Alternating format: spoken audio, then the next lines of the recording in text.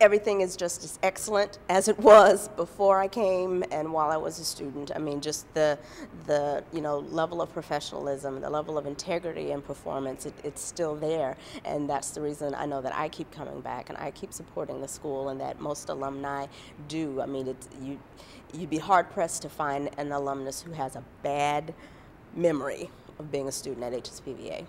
It gave me um, calm it gave me some peace. It gave me a sense of who I was, a sense of well being. It gave me an introduction to not only the art area that I was interested in, but everybody else's art area so that I can then appreciate fine art and I can appreciate the voice and I can appreciate music and I can, uh, you know, appreciate writing. I, I can appreciate the whole gamut and then the whole gamut of everything that I do as an actor from the crew.